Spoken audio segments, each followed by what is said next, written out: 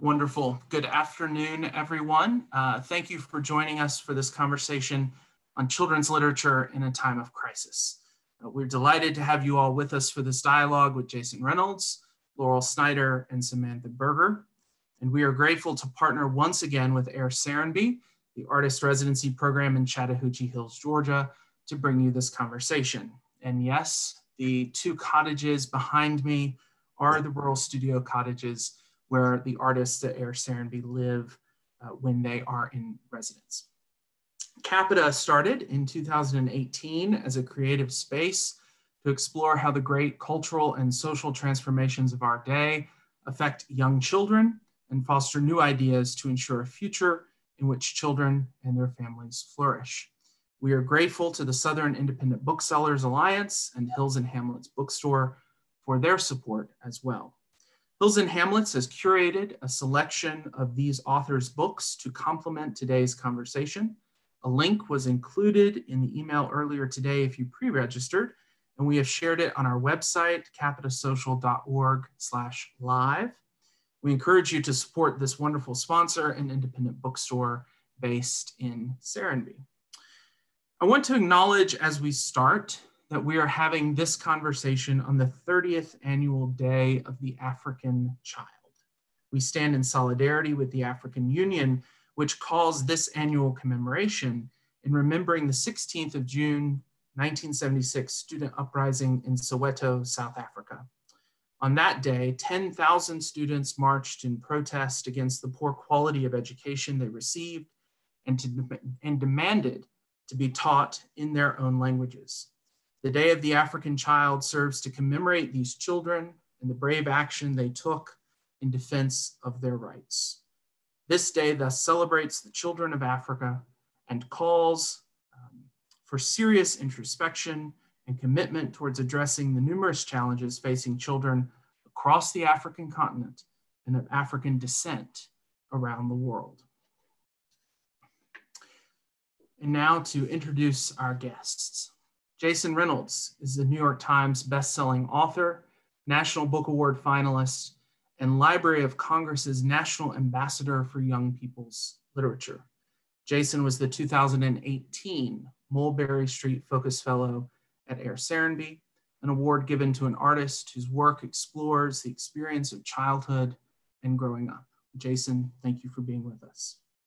Laurel Snyder is the author of six novels for children, two books of poetry, many picture books, and is a regular contributor of essays and commentary to a diverse array of publications, including the New York Times, the Boston Globe, and NPR's All Things Considered. Laurel was the 2017 Mulberry Street Focus Fellow at Air Serenbe. Laurel, thank you for being with us. And Samantha Berger is the award-winning author of over 85 books for young readers, including Crankenstein, What If, and Rock What You Got. She is also a twice Emmy nominated television writer. Samantha was the editorial director and vice president of animated shorts for Nickelodeon for over a decade. She currently writes for Sesame Street and Communities and Sesame Street International. Samantha Berger was the 2019 Joy of Reading Focus Fellow at Air Serenbe, an award given to an artist whose work celebrates diversity and inspires kindness, laughter, and the love of reading. Samantha, thank you for joining us. Thank you. We are living in a time of crisis from the COVID 19 epidemic and the economic devastation it has wrought around the world to the centuries long epidemic of violence against Black people, most recently made visible once again by the murders of George Floyd, Ahmaud Arbery, Breonna Taylor, and Rayshard Brooks. In an accelerating conflict between China and the United States, one in seven adults worldwide, or some 750 million people on the planet, struggle to food, food, afford food and shelter. As of this morning, 434,796 people worldwide have died of the coronavirus. And according to the latest data from UNICEF, nearly 31 million children have been forcibly displaced either as refugees or within their own country. So here is my first question for our panelists. What comes next? And this is not intended to be an invitation to prognostication, but to help us understand what is next for each one of us and for our children. And Jason, if I could start with you. um, this feels like a setup, man. It's like you're like, let me tell you how bad the world is. Jason, what do you think we should do? You know, look, here's the thing. I uh, what comes next is the question that, that you asked, and the truth of the matter is, is uh, one of the beautiful things about about life uh, if we can sort of suss out and mine where the beauty is these days. But one of the beautiful things about life is that it um, is that it continues, and and because it continues, we have a, a perpetual well of possibility and opportunity because children continue to exist, right? And so I think about the world that we live in, and I think about the irreverence of young people. And the irreverence of young people makes me happy because if we live in a world where young people aren't irreverent, then the world will never grow. So right now, what I see, like as, as we look at this sort of global, you know, this sort of global dumpster fire, right? All, all, I can really think about is the fact that at the forefront of all those movements is some 17 year old. Yeah.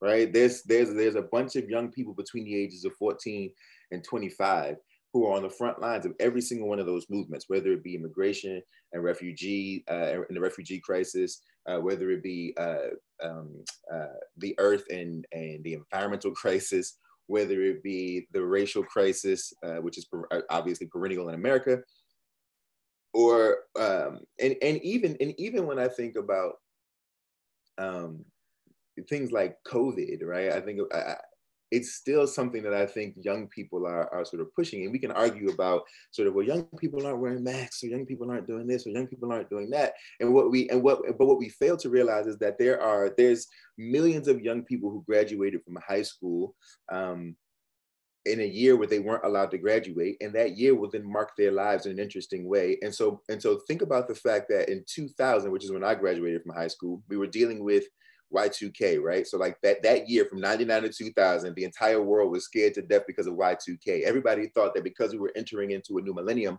that that that our computer systems and technology wouldn't be able to reset itself, and so all the banks would be wiped clean. My mom filled the bathtub with water for some strange reason on New Year's Eve. All this stuff was sort of going on, right? And what it ended up doing was it propelled a generation my generation, right, that year, 2000. So if you if you graduated from high school in 99 or 2000 or 2001, it propelled us to be the people to invent all the technology that we use now in terms of social media and all these other things to ensure that the next time we're faced with something like Y2K, we would be better prepared, right? So my thing is, when I think about COVID, just knowing what I know about my own self and my own generation, why would we think that perhaps 10 years from now, the kids who did not have a graduation and a prom and all of this because of a because of an illness or because of a pandemic wouldn't be the people to ensure pandemics never happened again?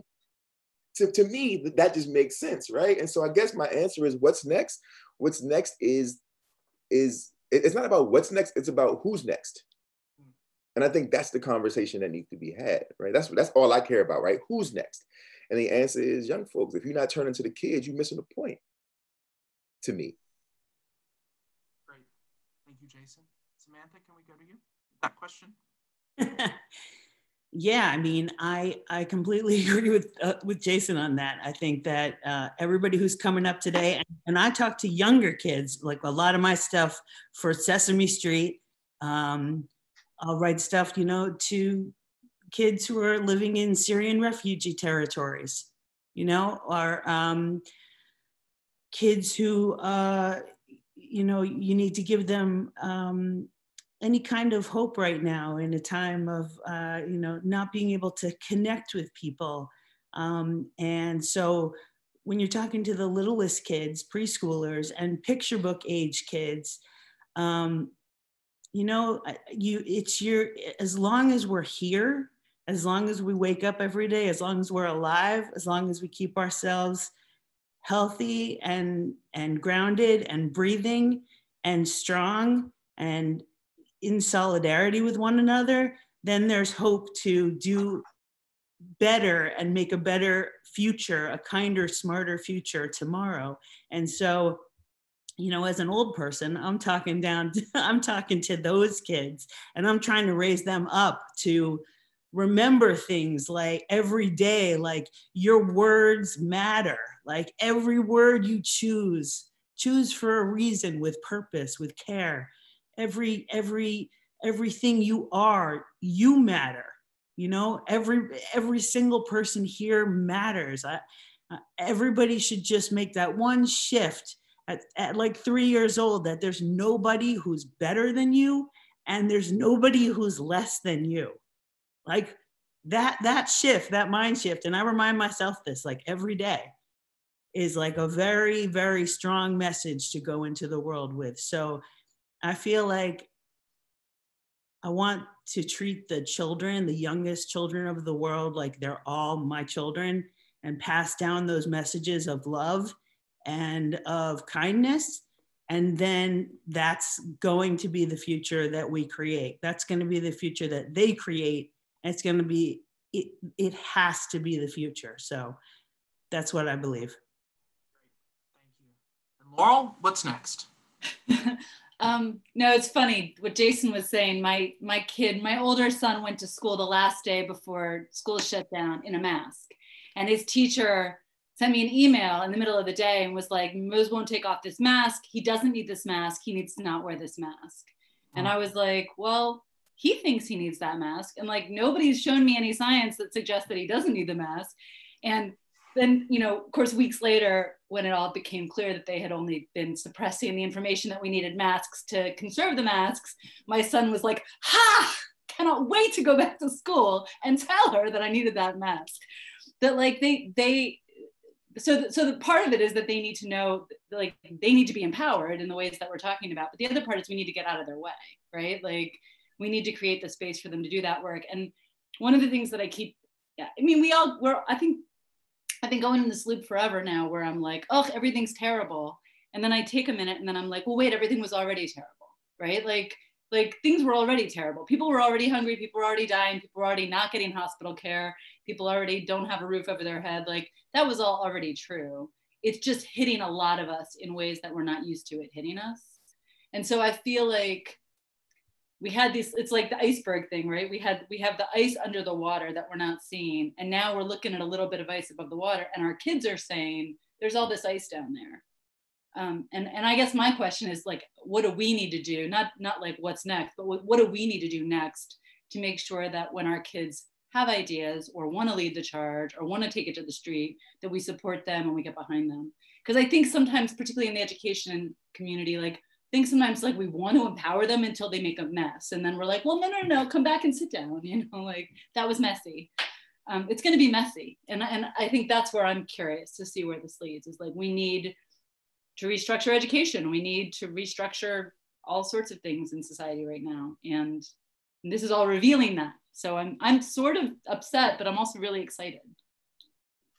Laurel, I, I want to follow up with you on, on, on that point. And a couple of weeks ago, you posted on your blog this question uh, How do we make sustainable change in our own white habits? And I'm just curious for you to, to building on what you've just said, go deeper with that as we think about the need to restructure education, the need to provide tools and resources to our young people to, to who particularly those who are white to restructure uh, their habits and and to I mean, make a sustainable not, change over the course of generations. It's not unlikely the election cycle, right? We get excited and upset about something when it's right in front of our faces, and we make all these promises that we're going to work on that later, and then something else gets in the way, and we get distracted, and we forget what we what we said right before the election was going to be really important. Um, so I guess in our personal lives, for me, that the question that I'm asking myself is, what can I do now while I'm freaked out to remind later Laurel that she meant to do this thing, right? Like, what what can I put in my Google Calendar once a week that reminds me to shop at Black-owned businesses or to, you know, make a regular donation to bail funds or to volunteer some time at my local Title One school or like whatever this like whatever the thing is that we're trying to correct for. Obviously, like there's a million places to put our energy right now but it's going to be really easy later to settle back into comfort like as soon as as soon as as soon as we're not uncomfortable it's going to be really easy to to sort of pat ourselves on the back for carrying a sign and so that's I, that's my question is like i mean the, I, the, the things that i was throwing out on the blog were just like you know, set your reading for your book club. Mean, people have been making fun of book clubs, but books matter, right? Book clubs matter. And that's like a market force that that drives dollars that drives what kinds of books publishers acquire next year that uh, you know like there's all kinds of things that get implemented that way. So yeah like choosing now that we're going to read all books by women of color in the next year if all the book clubs at all the bookstores around the country did that would have a huge impact on what publishing looks like five years from now i would think. You know so things like that where like what can we do now so that we have to walk the walk later? Jason, I want to bring you in here because Laurel's blog post where she asked that question was in response to something that she had heard uh, you say, I believe, right, Laurel? Mm-hmm. And and and so Jason, I want to bring you into the Uh-oh. conversation. That could be no, it was, it was the talking with Build on that. That could be anything. what did I say? You said that white people needed to talk to white people. And I had been feeling and I had been feeling nervous about using my voice. And honestly, I I was nervous about coming to this today and like taking up space in this way. Mm. Um, but when you and Brendan were talking and saying that, like, I mean, obviously we all we all know like this is a white people problem, but sometimes I think we're too timid about getting out there and risking making a mistake. Yeah. And so it was sort of like, well, the choices are I can sit back and not make a mistake, or I can say something. I mean, I think and probably think, make a mistake. and make yeah, and, and sure. I mean, I think I think that there's I think we're in an interesting time. I think there's some hard questions that have to be asked, right? Um, I think the the hardest question is are the things that we are doing and by we i mean white people are the things that white people are doing right now in this time are they being done to uh, in an effort to absolve themselves of guilt um, because uh, which which by the way is a human thing um, but it's a it's an it's an honest question, right? Because if so, then it's unsustainable. Um, it's unsustainable, right? Like the first of all, my therapist told me one time because every now and then she gets it right, you know. And and she she was saying to me just a couple years ago, she said, you know, there's a difference between shame and guilt, and we conflate we conflate those words we conflate the definitions. And she said, you know, guilt is often about something you've done, but shame is about about about who you are. Mm-hmm. And that and that and that I think there are so many people who feel so much shame right now, and it just isn't helpful. um, it's not helpful, right? And so ultimately, I think that the moments of guilt have to be fleeting. They have to be passing so that we can continue to move forward. But but white folks got to ask themselves, am I doing this because I truly want to see a systemic change? Because what we because what what what no one ever wants to talk about is that that systemic change may come at a cost, right? And so it's easy for us to you know do this or do like I want to go to the protest. I want to make sure that I'm doing my due diligence to be more thoughtful about where I'm putting my dollars, all of which are really, really important, especially in a capitalist country. Um, but there's that other part of the conversation that says love is sacrifice, love is risk. And, and, and so the hard question that I think a lot of my white brothers and sisters are going to have to ask themselves is what are you willing to risk? Uh, and that's a complicated question. It's tough. Self interest drives us. That's human, right? Self interest drives us. So what exactly is the self interest here? And and and and if there's nothing for you to gain, then you're definitely that means you're literally putting yourself up against loss and it's what is going to make for a more equitable world but it's a really difficult conversation to have with people who feel like they don't it's like it's not my fault. It's it's not i didn't do it. I didn't cause it. I didn't i think about the same thing as a man right? And this is what i always try to tell my, my partners who are white. I'm a male. I have a certain kind of privilege as a male. In this industry i have a certain kind of privilege as a male.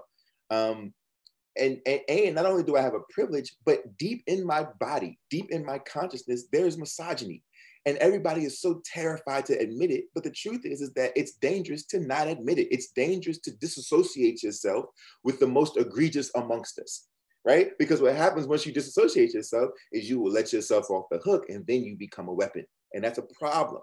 So i'd rather stick as close as possible to the men who i know are dangerous and harmful associate myself with the worst of us in order to constantly be deconstructing the things about myself that I may not even always know. But I know that the country has created a, a, an incubator of my for, for my misogyny, whether I know it, misogyny is like a mist, right? I don't always see it, I don't always smell it, but it's all over me.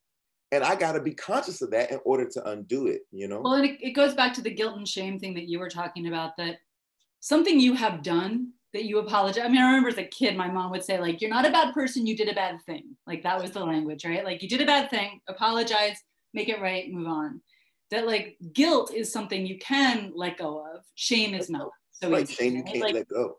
And if you if you if you own the thing you did, and and actually that same talk that you and Brendan did that that I wrote that blog post in response to, there was another interesting moment in the talk that I really took something away from, which is that you were asked what mistakes you had made in All American Boys, and you both immediately were like, "Oh yeah, we failed utterly." Like you you owned the you said we're sorry for the thing we did, and then kind of like, "Okay, next question." Like you can't move forward if you can't let go, right? I wish I could change it. I can't change it, but I cannot do it again. I can atone, right? Because that's the other thing is that saying you're sorry means nothing right? Atonement is what we're talking about. But atonement only comes when there's correction, correction of action.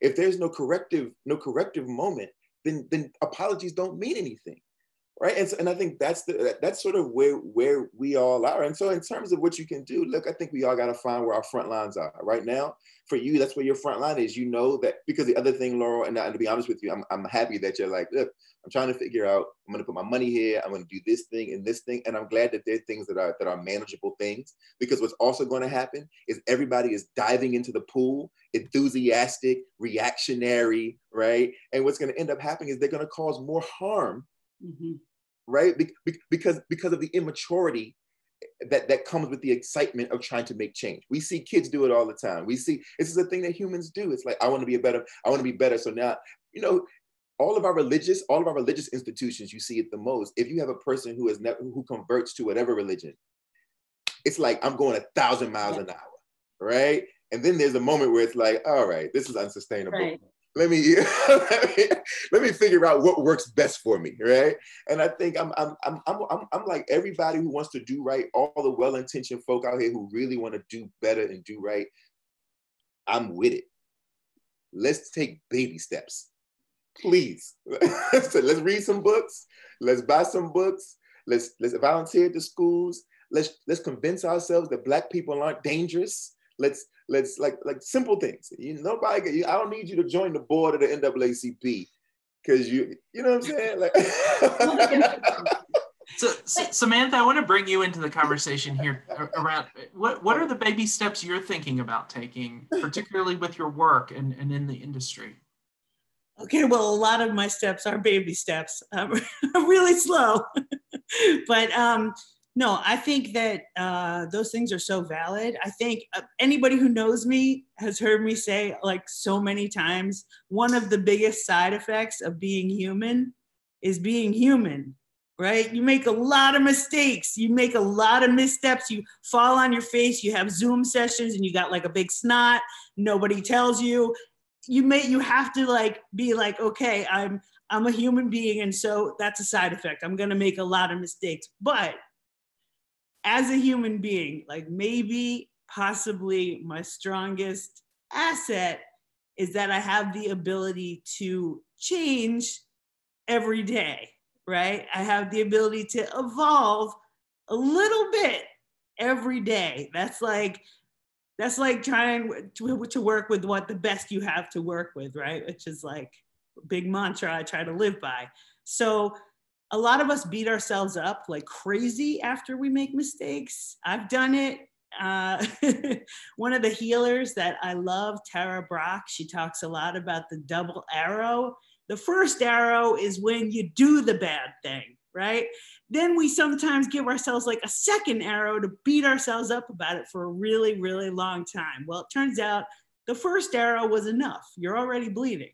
So just like take a minute, reflect, think about how it could be better, how you could have done better. What little thing could you do right now? What little tiny three things could you do every day? And then take that action, actually, like go through with it, like hold yourself accountable. Um, so I feel like last night uh, I attended this uh, poetry vigil, right? Jason was a part of it. Uh, a poet I love my whole life. Aja Monet was hosting it. She's incredible. Everybody should know her work. Um, the other 11 poets who spoke, I didn't know any of their work. I didn't know any of them. And I was like, these people are incredible. These people are amazing. I'm going to write this down. I'm going to tweet this out. I'm going to say, no, you know, know these people. That's a little thing. That's not a, that's not a big thing. I'm going to support them. I'm going to buy their books. I'm, I donated to the thing. I, I, I do feel like there's more I can do all the time. I am very like clear that I have walked around in this skin my whole life and I could always do more. I don't want thanks for that. I don't want congratulations. I don't want applause for that. I saw that talk with Brendan also, and I was like, right. I don't need to be like, oh, you did such a good thing. Look at you. You did a good thing. I don't I don't need that. I just need to like make sure that I personally act, right? And and I personally like can be a little bit better every day that I'm I have the gift of being here. Great. Thank you, Samantha. Uh, I'm going to take this moment just to remind folks that if you have questions for our panelists, please uh, tweet them to us at capita underscore social. Uh, you can also tag us on Twitter. You can also uh, offer them in the YouTube uh, chat box and, and we'll get them that way too. And I also want to make a plug here for Hills and Hamlets bookstore. Uh, they have a curated selection working together with these authors. They have a, put together a curated selection of books um, uh, and, and we will share that link as well. Laurel, I want to turn back to you here on, and, and really the question is, I have to say that so far, our conversation, I think, has been grounded, it's been practical, it's giving uh, me hope. Uh, and yet, I think in so many ways in our world, hope is elusive. And, and so I want to ask you, first of all, what's giving you hope uh, in, in these days? What is the source of your hope? But also, um, I'm feeling, frankly, not quite so hopeful in, about the world that we're going to leave behind mm-hmm. for our children. And so, what, what's the message that you would give to young people, to your readers, about hope in the future uh, in this moment? I might be the wrong person for that one. Um, so, so part of my answer is that I'm Jewish, and we have a long tradition of despair and hope, right? Like we have a long tradition of like the expectation is that someone's coming and knocking on the door, and also you got to get up tomorrow anyway, right? Like, and and that sort of like those ideas, the ideas of like my requirements, like my sort of what I'm required to do in terms of sort of repairing the world and social justice and being a decent human being, and the fact that bad things are going to happen all the time. Like that those things just go together and and so I, I don't i think sometimes and i run into this actually in writing for children too that i write books where i'm told that the, the book was not positive enough or not hopeful enough or not cheerful enough that that sort of all middle grade novels are supposed to like be like something sad and terrible happens and at the end we're hopeful right? Like that's that's the arc. And narrative is really just all about where you start the story and where you end the story right? So if we ended it a few days later or a few days before it wouldn't be so hopeful right? Like everybody's life goes up and down in that way. And I feel like I've been having maybe a hard time with the like cheery sell right now. Like I kind of feel like there are times where you say to your kids, and I'd say this as a parent, not as an author, but like, no, it's really, really dark and bad. Like, and the only way it gets less dark and less bad is if we do something about that. Like, right, that's our that's our part to play. We have to we have to produce that. And sometimes getting kids to see their role in improving things depends on them seeing how dark it is. And and and i'm struggling with that a little bit right now myself in terms of like i think we spend a lot of time telling kids that everything works out okay in the end. And a lot of kids know that's not true um, just naturally and unfortunately. Um, so so it's this balance of like there's hopefulness. Hope hope is about what's down the road that you can't see yet right and then there's like the frustrating sad thing that's already happened and maybe action and activity and like change are the present are like where the work gets done um, but i'm struggling like i'm struggling with with not with how to do that for my own kids or like with the kids in my sphere. I feel like I can communicate that in a human way. I'm struggling sometimes with how that fits into the forms of children's writing. That like we don't get to have tragedies. And and tragedies exist. And kids learn from tragedy. You know, that when I oh, was oh, I'm just, kid, I'm just curious as somebody who's not in that industry, where do you feel like that pressure comes from for there always to be a, a positive ending? I mean, I think that there's know, that's a big that's a big conversation. I think that I think that I think that adventure and humory and sort of cheerful books sell. And there are people out there who are looking for other things, but that in general, that's the sense is that sort of like we want to we want to pretend like we want to create a world in this literature that feels safe, um, because we can't control the experience that kid might have with it if we're not standing right by them or something. But that's always bothered me. I feel like kids have more control over a book than anything else. And so if you, if you if a kid picks up a book and it's too scary or too sad or too nihilistic or too dark, they can set that book down again. They can be in control of that. They can come back to it. They can skip parts. They can go to the end and see what happens. You know, they they have a certain amount of power with a book that they don't have necessarily in other parts of their lives. And so I always wish, I, I wish sometimes we could push a little a little bit further with that. That um, there's like something that happens where like they get to high school and now they're allowed to have dark books, but but like up until a certain point, it's like they don't know what it is to be sad or angry until they are 15, and then they can be all sad and angry all the time. I don't know. I don't know what that's all about. But so maybe I'm. I guess what I'm saying is maybe I'm the wrong person for this question right now. I feel like it's well, everyone's going to get the questions. Okay, I feel like it's time for kids right now. A lot of kids need to be taking a hard look at some of the things that are difficult in the world so that as jason was saying like they're going to be the the leaders of the next generation and i'm not sure that tying things up with a bow and saying like and they all lived happily ever after sometimes it feels like that gets in the way of activating them. So now to you samantha i'm, I'm curious your thoughts on that. And, and in particular the, do you feel the same pressure for the happy ending? Um let's see.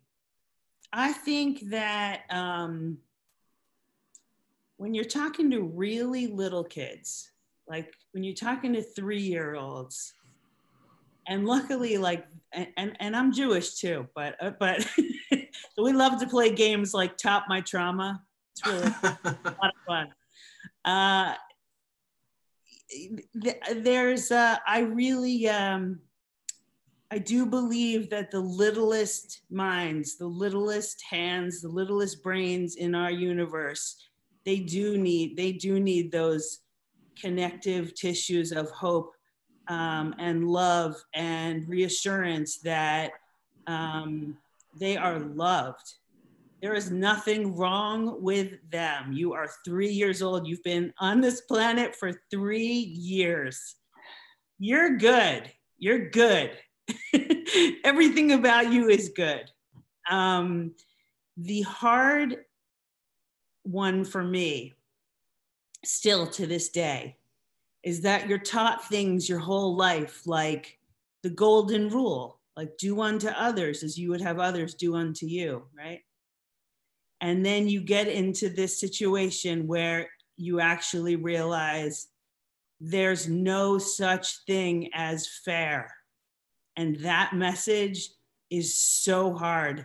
It's so hard for me to this very day. So, like, I wrote a, a, a book about it, like a, a poem about it, uh, about how you could never tell a little one. There's no such thing as fair, that good people die and and and they didn't do anything wrong and and, and nobody deserves it. And you know no one will ever publish that book.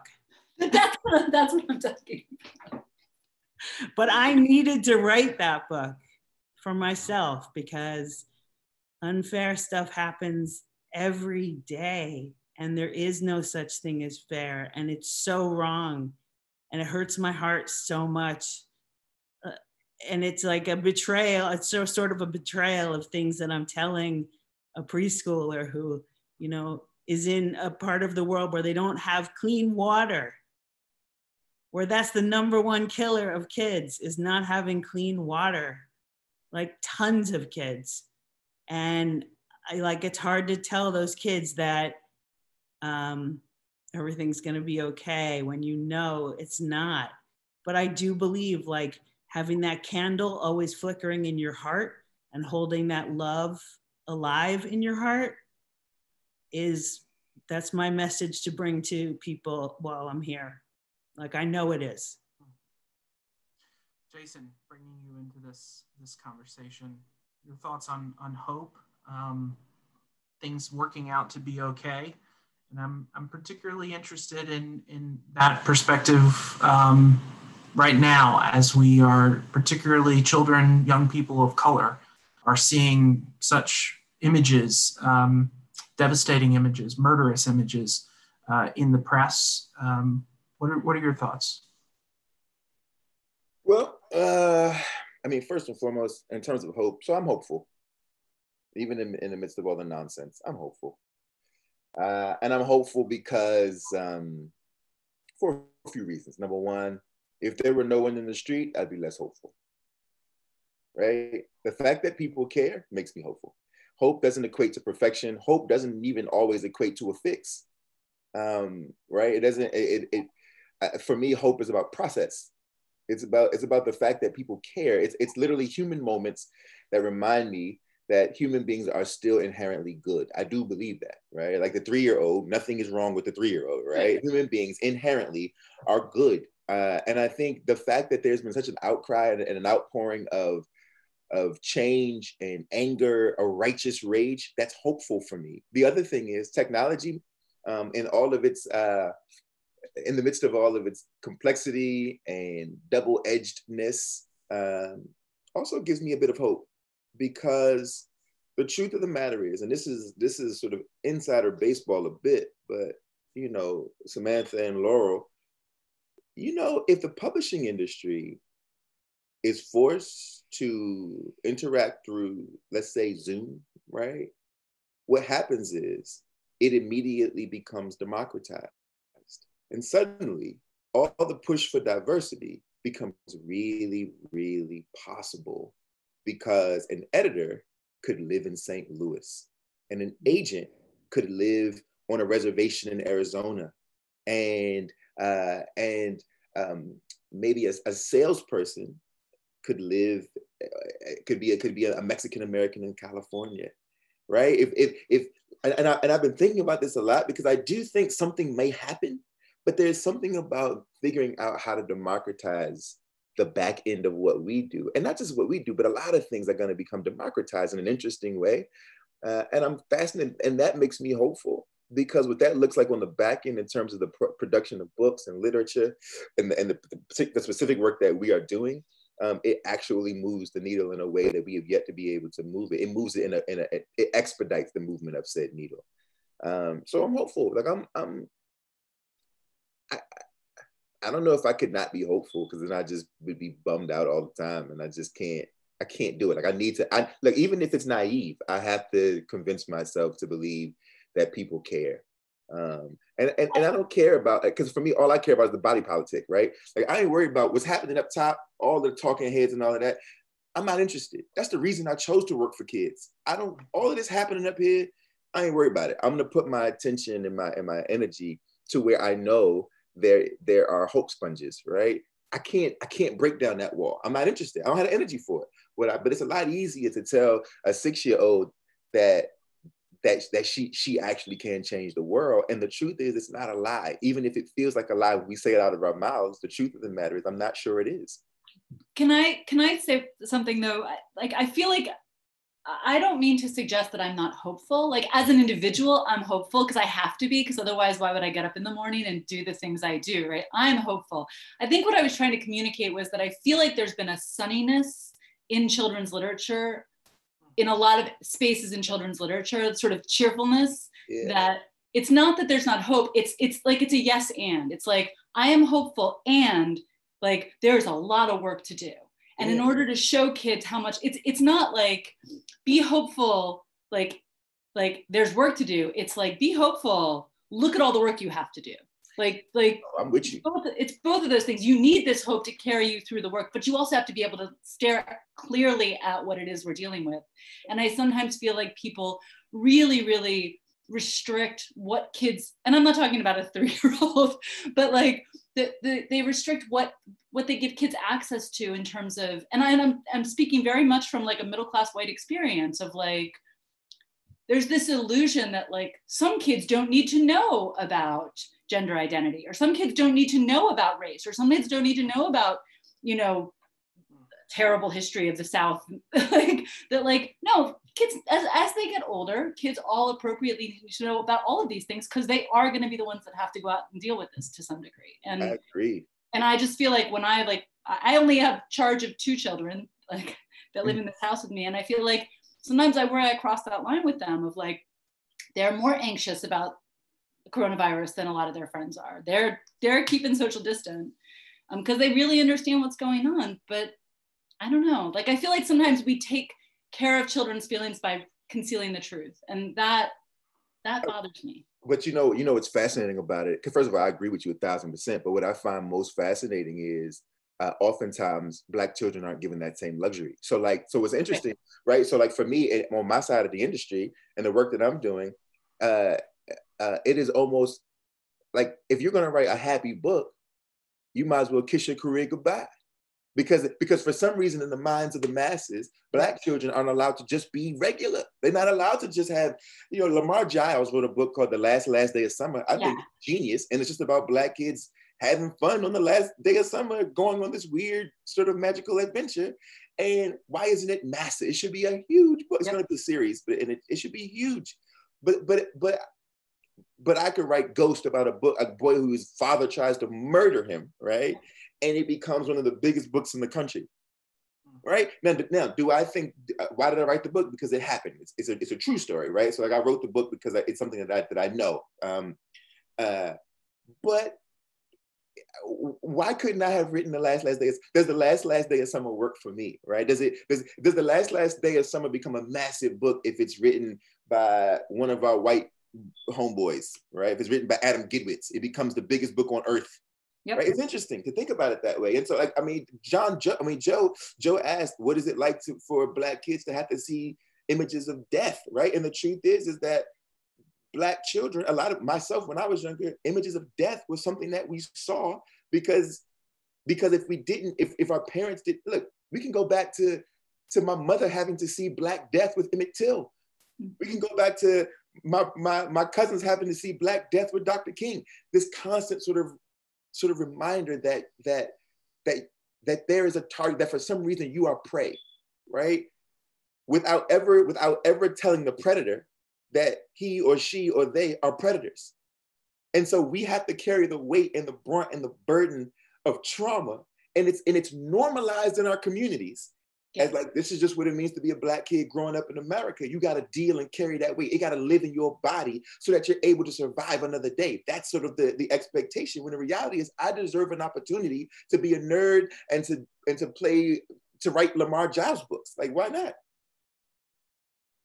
Why well not? and then and then there's this other thing which is that so so you've created a window onto one very specific black moment right and then a bunch of white people are going to come look in that window.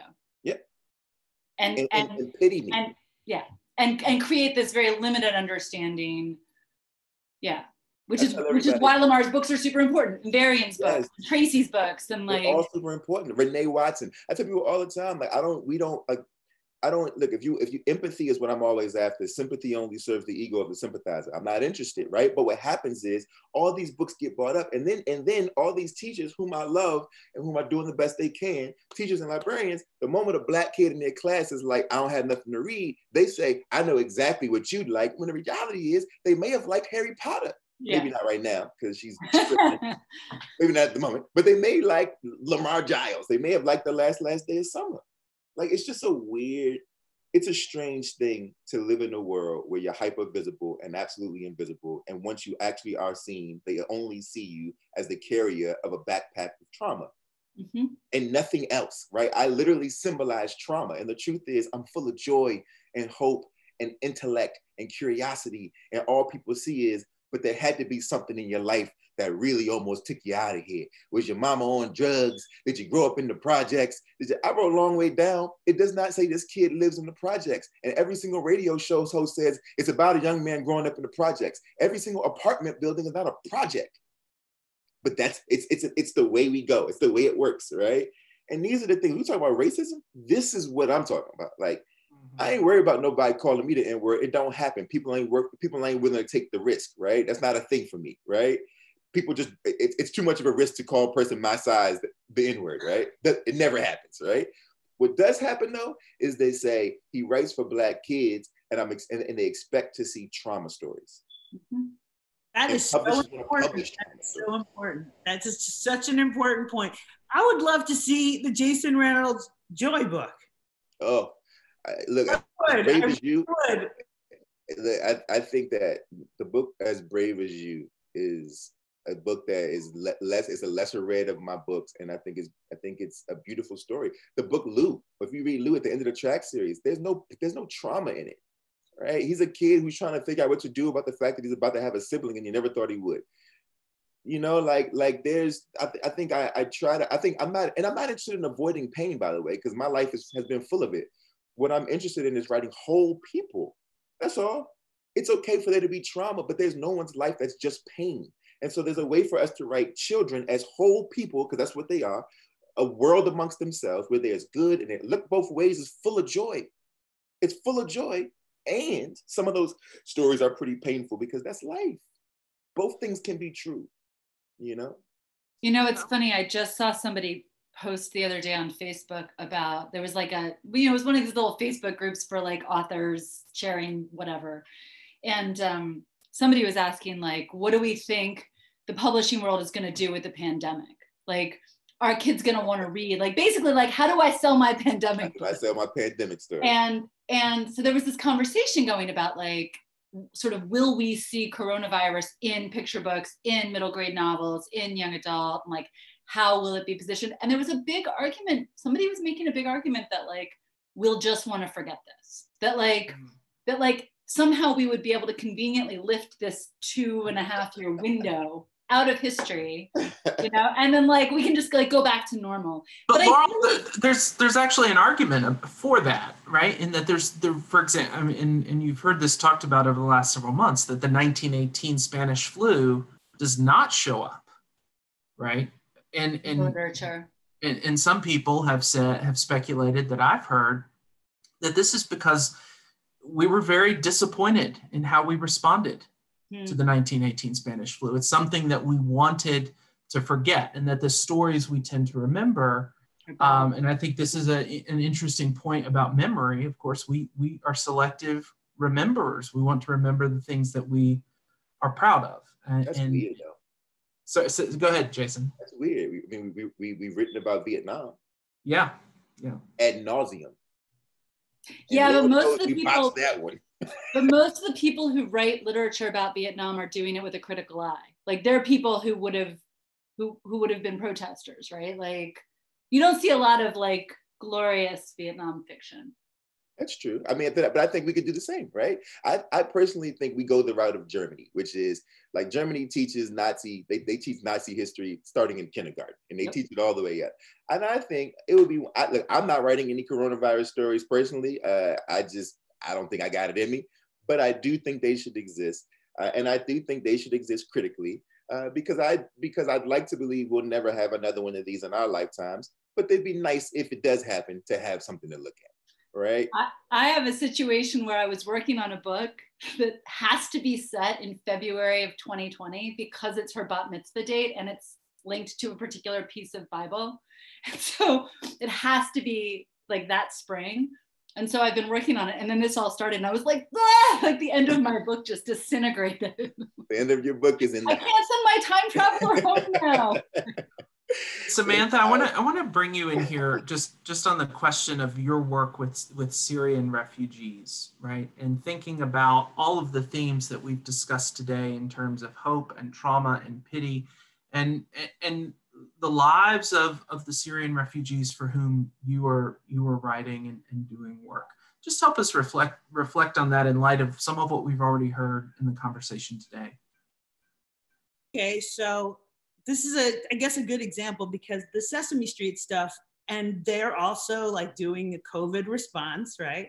Is for, for um, really young kids, right? Pre-K always is like, oh, let me reform my brain.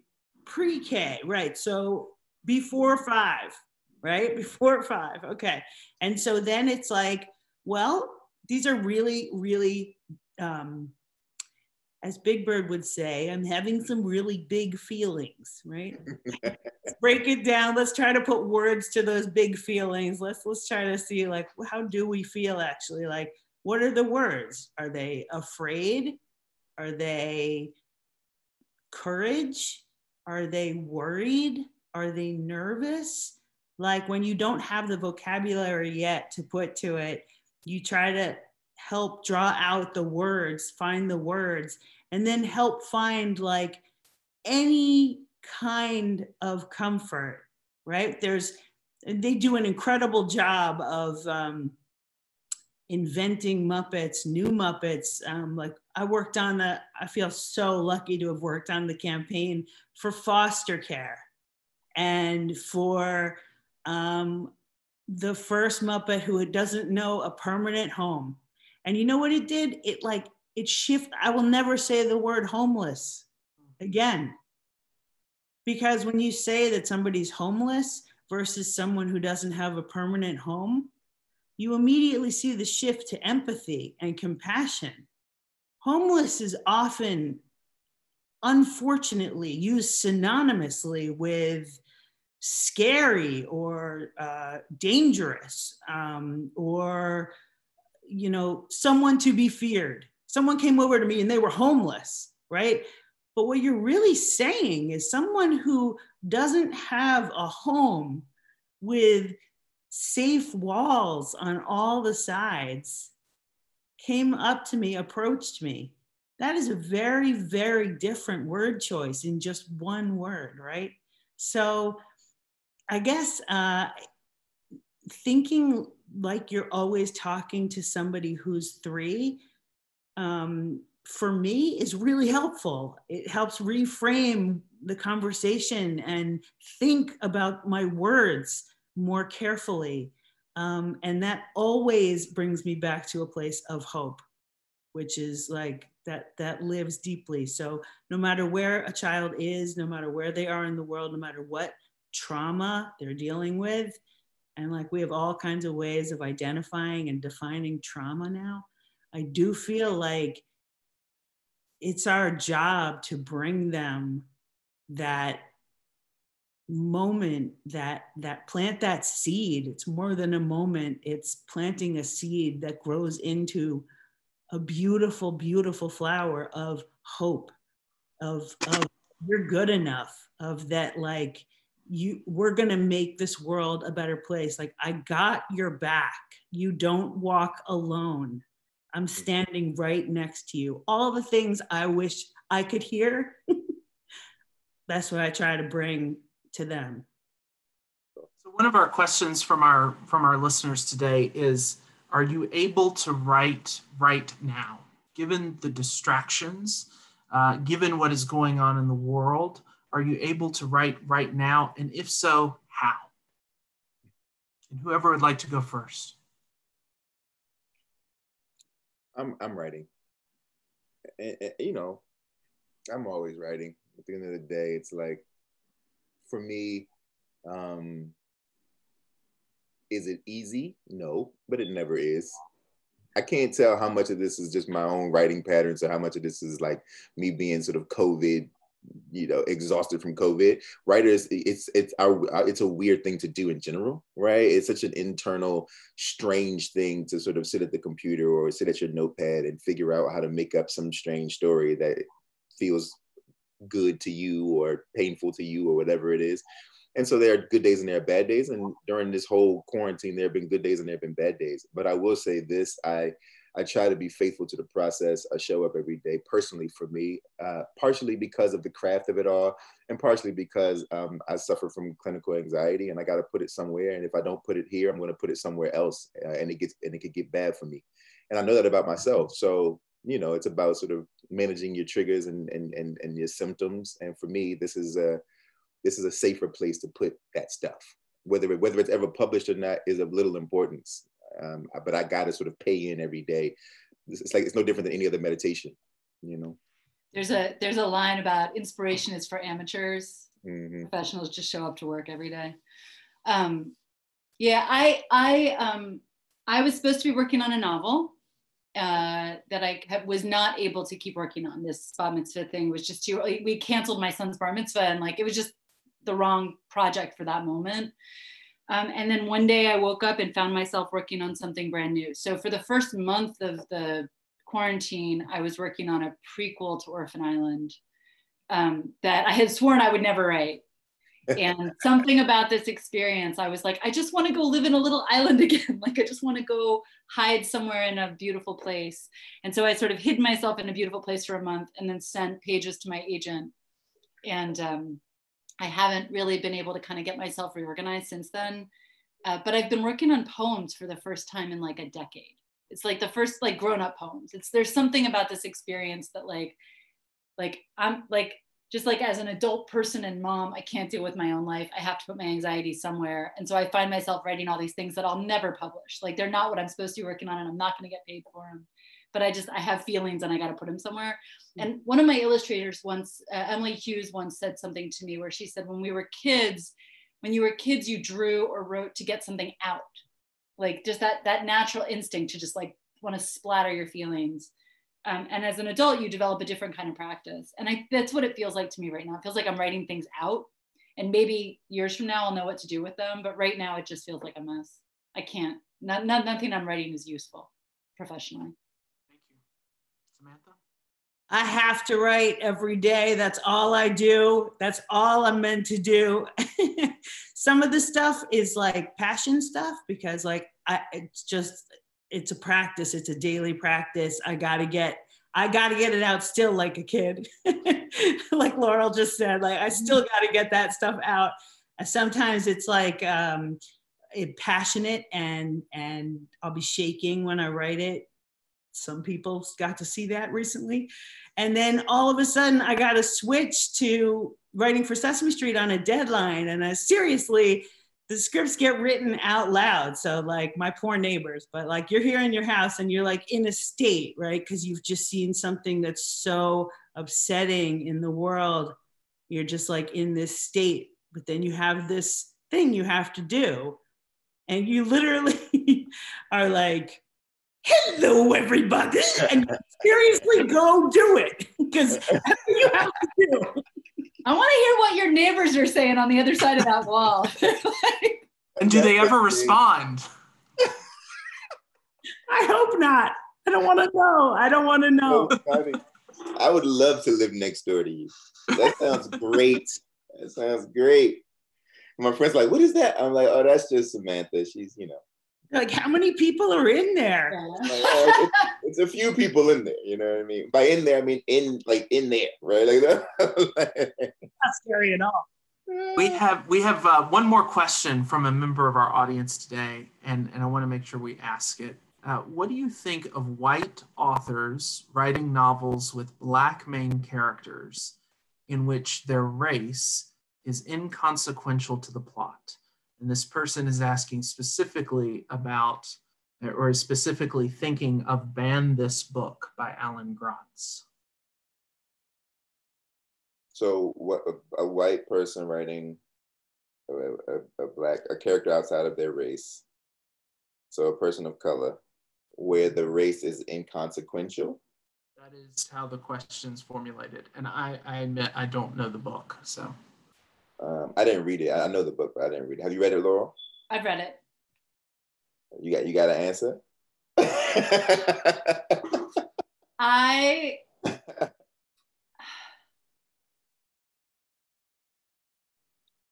This is one of those moments I'm going to look back at and be like, why did I say that? You, um, you, you, can all pass. No, you know, I'll, I just, I'll, I'll say this. I think, I mean, I, I have no authority on this. I, I feel strongly that um, it's what we were talking about before. You sometimes you're going to make a mistake and you're going to get called out for it and then you're going to say i shouldn't have done that or i should have done better or i will try harder next time and try to learn from that and keep moving forward right i remember talking with justina ireland years ago when i was working on the charlie and mouse books before they came out the illustrator was looking at doing something different with the characters visually and um and and i was struggling with like i wrote this book about my two little white boys. The characters are not going to be little white boys. Mm-hmm. um it, what role did i play in this? Like what what what responsibility do i have to call this out and say like maybe we should not be just painting these characters brown? You know like the sort of what's my role in all this? And i was talking to justina about it and there was in particular one line that i really felt we needed to change if if these characters were going to be black. And um, and justina was like you know what she's like sometimes she's like i don't think anything you've done here in this text is wrong or whatever. And i, I hope i'm not putting words in her mouth but basically she was like you're going to try and you're going to screw it up. And like sometimes you're going to screw up you're going to you're going to try to like it wouldn't be right to not be inclusive and have people of color in your books. So you're going to try to do that and you're going to do it badly and somebody's going to call you out. And like that's sort of that's part of the process is like that's how we grow. Like that's how this gets better basically on some level or something something like that. But so I, I feel like I've been thinking about this like ever since then of like, do I want to, do I want to like make my books like white as snow because I don't want to risk having done anything wrong? Um, or do I want to try to be as inclusive in, as possible, but, but like, but be writing characters that I don't know from my own lived experience, like that sort of, and then, and then I hear other white authors say, well, then we can't win. And the answer is like, well, no, then we can't win. Then like we can't win because we have this missing chunk of our lives. There's a piece of my lived experience that is not up to this task. And I've got to fi- find the book I can write authentically, right? Um, and be prepared to make some mistakes along the way. Um, so, so in answer to the question, I I felt that that book, I Alan is a friend of mine, and I like and admire him as a writer. That book was one where I did feel like it was inconsequential and just kind of layered on. Yeah, he's one of there my. was guys. a detail. There was a detail about the character sucking on her braids. Yeah. Like and, and I remember I, I reached out to a friend of mine and was like, "Is this like?" And she was like, "Yeah, your mom wouldn't let you do that. Like that's not like there was just something wrong about the moment that just felt like there are those details, the texture of of story that that sometimes you you can't get right if you don't sometimes you can't get it right if you do have lived experience right like everybody's story is different everybody has an individual story to tell but um all I all I have to offer. So wait, is the question if the protagonist is the main character? I mean, if the writer is right, if the if the, the main protagonist to main character, and and is, it does feel the protagonist. The question was specifically about main characters. So so my first instinct is, my question is why. How how come? Like why? I I don't know. I, I just I'm always gonna wonder like what's the for what? Like why why is the main character of color? I I just because my whole thing is um uh we have secondary and tertiary characters. We have all kinds of we, we can build out a world, right? It's like I don't know if the main character needs to be of color because if it's of color, if the, if the main character is of color and they and it's inconsequential, right? Which by the way is something that people argue all the time that like you could just put a black person or a brown person in the story and we don't need to have any cultural cues uh, and and and like it's fine. And the truth of the matter is that it's not actually fine because it basically leads into color blindness, right? Uh, which which is nothing actually but a, a, a, it's a it's a it's a checkbox. So now nobody can say that that book is is is whitewashed because he'll and and he's my guy. To, to be honest, like I want to make sure that's clear that I do really, really like this person.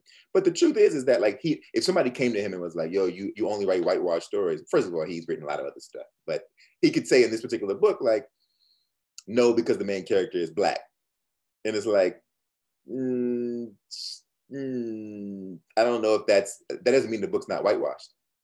I mean, I, I mean, here's another example with Spider-Man, and I'm not supposed to ever talk about this stuff, but it is what it is. You know, Spider Man. When I, the reason I took the Spider Man gig is because I read the comics and felt like the comics were that Miles Morales was basically painted brown. Was was Peter Parker painted brown? Mm-hmm. I felt like there was, and he's a half black, half Puerto Rican kid from Brooklyn. There is no more cultural, culturally textured person than a half black, half Puerto Rican kid from Brooklyn, New York.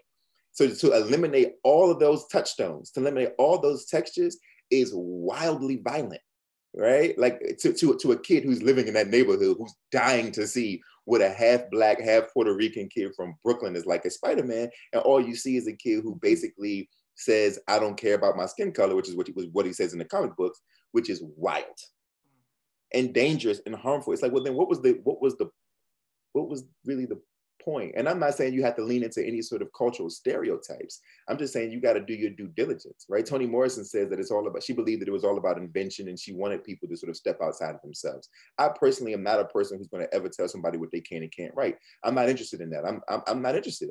I'm saying swing the bat. If you're going to do it, first of all, mind your own thoughts and ask yourself why, right? Have some intention, first of all. And second of all, if you're going to swing the bat before you do go to bat and practice, work on it, figure do all your research, figure out how to get this thing as close as possible um, so that when you do put it out, it's solid. I think about Bill Cheng, I think the brother's name was. He wrote Southern Cross the Dog, and it caused all this. He's from Queens. I think he's, I believe he's Korean American. from Queens, and it's about old black Southern men, right, in the Mississippi Delta. And he got all his heat because he told the New York Times that he had never even been to the South.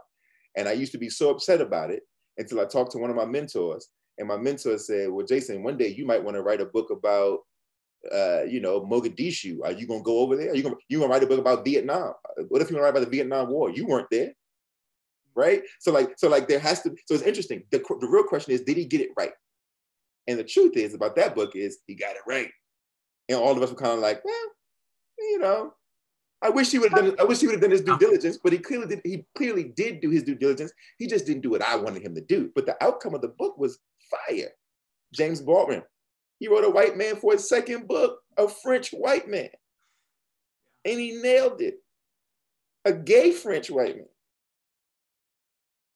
like well, the other thing I'll say oh, is Laurel. Sorry, I've got to. I've got to stop you because we're way over time. Uh, and, and sorry, I want to be respectful um, and, and get in one last word from each of you. And, and the question that I tend to ask is what is one project you've dreamed about but haven't started yet? And just briefly, as a final thought from each of you. Thank you.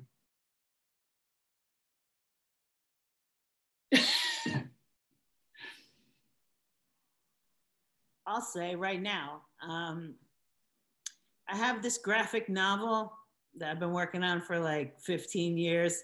I've done all these books and I've never illustrated one of them, you know. And this one I illustrated, and like, you know, it takes cojones to come out there and be like, I'm going to pitch this book that as a as a you know, and it's not for kids at all. And it's uh, will it ever happen? I don't know.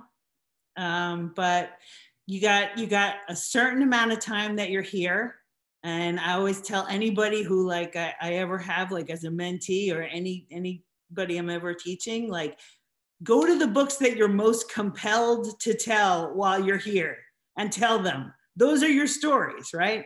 Your voice is like your retina scan your fingerprint your it's it's something that's just yours. So like go to your story that you feel like you're most compelled to tell and tell that story. And this is one of them. And people will be like, Samantha, who writes about like, you know, like underwear and, and like, and, and monsters and otters and like Elmo stuff, like wrote this serious book. Well, I don't care. I don't care what the, the, I'm not writing it for whatever reaction I think or whatever audience I think is going to see it. I'm writing it because it's a book I'm con- compelled to tell. How's that? Great. Thank you for sharing. Uh, for me, um, the only difference is white people have a different kind of social power. That was the last note to my last uh, answer. Okay, for this answer. for this answer, um, I want to write my mom's my mom's story. My mom's story from childhood to around the age of 16 is one of the most fascinating stories I've ever heard in life. And uh, one of these days, I'm going to tell it. I just got to figure out when, because a lot of the people in the story are still alive, and that complicates things. So, awesome! We can't wait to see that. Laurel, I have one book that I've never been able to begin. I jokingly refer to it as Sexodus it's um it's like a young adult set in the Bible. there's a character at the crossing of the Red Sea. There's a character named Nachshon who's he's the guy who puts his foot in the water first. Mm. Apparently, like the Red Sea doesn't split until somebody sticks their foot in the water, but Nachshon doesn't know how to swim. So it's like this total moment of faith where he's like, "All right, I'm like, I'm gonna start walking across the sea." Anyway, but I had I have this like very lusty young adult sort of storyline mapped against the like blood and sand and sweat of the Bible that I will never write. But it's like I, it's like the book I dream of. It's like the book I imagine. Like I tell myself the story at bedtime, but it's just not the kind of thing I'll ever write. this book will be banned too. Huh? It's like it should be like an 80s mini series, you know, like Great. I will read that book in a second. And Jason. ah, that's awesome thank you all very much for your time and for your insights and for your willing participation in, in this dialogue. It means a great deal to all of us uh, at Capita, at Air Serenbe, Southern Independent Booksellers Alliance, and at Hills and Hamlets. And folks uh, who are watching, buy books written by these people and many, many others and, and support your, your independent booksellers as well. So, uh, with that, thank you again and uh, have a great afternoon. Bye bye. Yeah. Thanks so much for having us. Later. Thank you.